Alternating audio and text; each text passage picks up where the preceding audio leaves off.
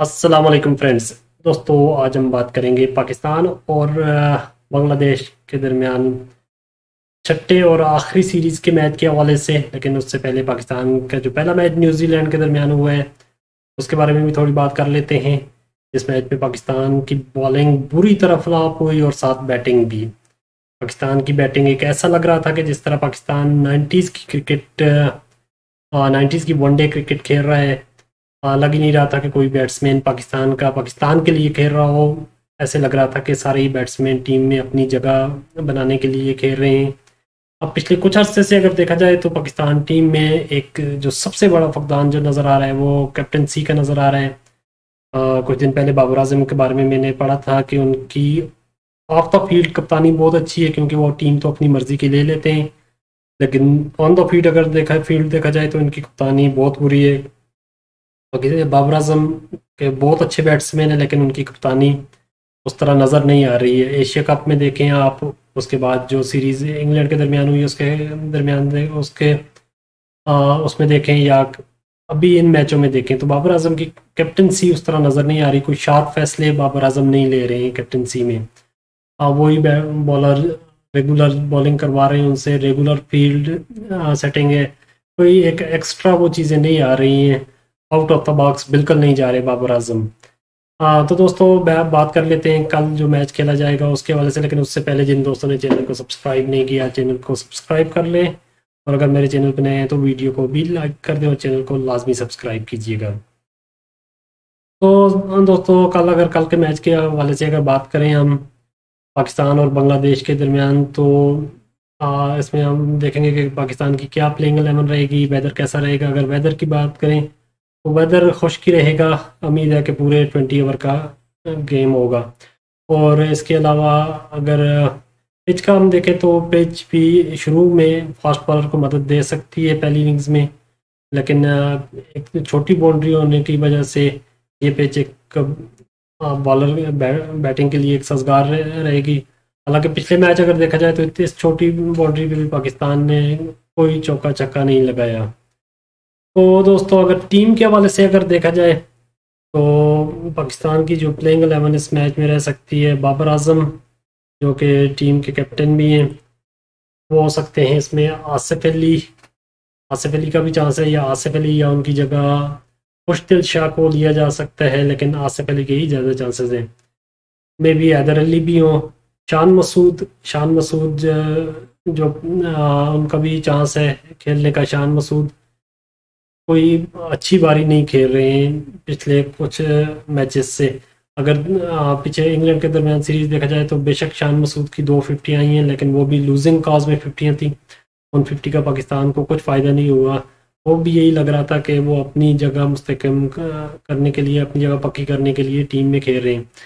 इफ्तार अहमद इफ्तार अहमद तो लागी तो ऐसे रहा है जिस तरह वो टेस्ट क्रिकेट खेल रहे हैं। हाँ वो भी टीम का ऐसा हो सकते हैं। शादाब खान शादाब खान अच्छी परफॉर्मेंस बैट और बॉल दोनों से दे रहे हैं। हालाँकि पिछले न्यूजीलैंड में तो इन्हें बॉल से कोई ख़ास कामयाबी उस तरह नहीं मिली है, लेकिन बैट से जो मैच न्यूजीलैंड के दरमियान था, खिलाफ था, उसमें शादाब खान अच्छा खेले थे सॉरी बांग्लादेश के ख़िलाफ़। और मोहम्मद नवाज़ भी हो सकते हैं। कल के मैच में मोहम्मद मोहम्मद रजवान भी मोहम्मद वसीम नसीम शाह और शाद नवाज़ दानी। आ, ये भी फास्ट बॉलिंग स्ट्रेंथ हो सकती है। तो दोस्तों आप क्या समझते हैं कि क्या पाकिस्तान इसी टीम के साथ वर्ल्ड कप के लिए जाएगा? अगर इसी टीम के साथ जाता है तो क्या ये टीम पाकिस्तान की आगे परफॉर्म करके दे सकती है? पाकिस्तान का जो इस वक्त जो सबसे बड़ा मसला मुझे नज़र आ रहा है वो है एक तो कैप्टनसी का है। बाबर आज़म कप्तानी में उस तरह उम्मीदों में पूरा नहीं उतर रहे हैं। और दूसरा पाकिस्तान का middle order middle order order Pakistan का जो कि मुसलसल नाकाम जा रहा है। मिडल ऑर्डर पाकिस्तान का बिल्कुल भी उस तरह रन नहीं कर रहा है। स्वाय शादाब के पिछले मैच में जो उन्होंने थर्टी फोर रन बनाए थे, उसके अलावा देखा जाए तो शान मसूद की एक दो इनिंग्स हैं, लेकिन पाकिस्तान की कोई उस तरह ख़ास इनिंग्स नज़र नहीं आई है पाकिस्तान के किसी भी बैट्समैन की तरफ़ से।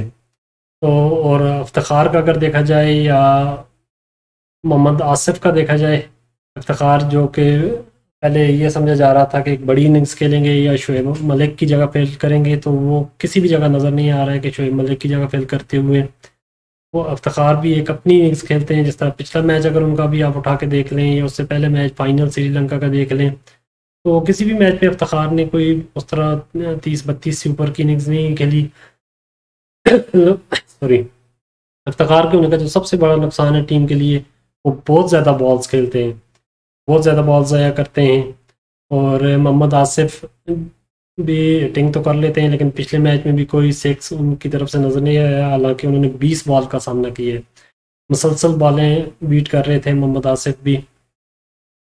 तो ये है दोस्तों, पाकिस्तान का मिडिल आर्डर अगर बॉलिंग में देखा जाए तो शाहनवाज दानी भी मुकम्मल तौर पे फ्लाप जा रहे हैं और मोहम्मद वसीम, जिन्होंने एक मैच में तो अच्छी बॉलिंग की थी, लेकिन वो भी उस तरह नज़र नहीं आ रहे। हैं अलबत् शाहीन शाह अफरीदी की बॉलिंग पिछले मैच में अच्छी रही है।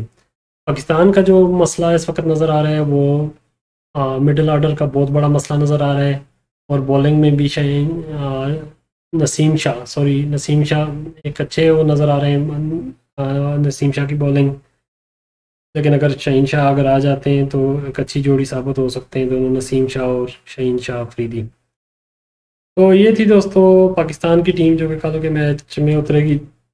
अगर हम श्रीलंका का देखें तो या सॉरी बांग्लादेश का देखें तो शकीब अल हसन जो कि टीम के कैप्टन है, वो टीम में होंगे, यासर अली होंगे, नवाज़ हुसैन शेंटो, नाजम हुसैन शेंटो, अफीफ हुसैन जो कि ऑलराउंडर हैं, बैटिंग करते हैं मोमनुल हुसैन है, सोमिया सरकार सोमिया सरकार अच्छी हिटिंग कर लेते हैं लतन दास विकेट कीपिंग भी करते हैं बैटिंग भी अच्छी कर लेते हैं।